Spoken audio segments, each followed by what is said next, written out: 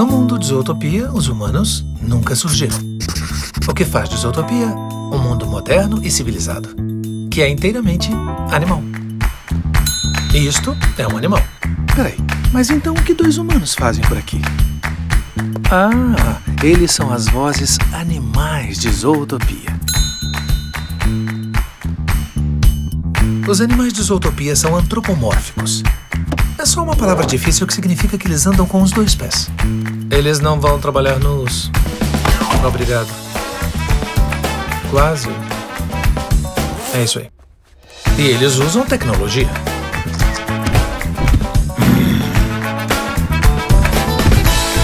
Ok. Há mamíferos do mundo todo em Zootopia.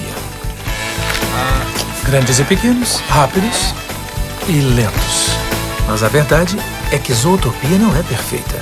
E como no nosso mundo, nem todos se dão bem. Principalmente inimigos naturais.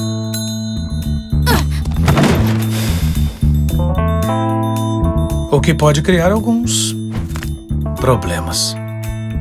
Mas a natureza dá aos animais habilidades para sobreviver. E enquanto um pode ter visão noturna, outro pode ter uma audição incrível. E um super tranquilizador de elefantes.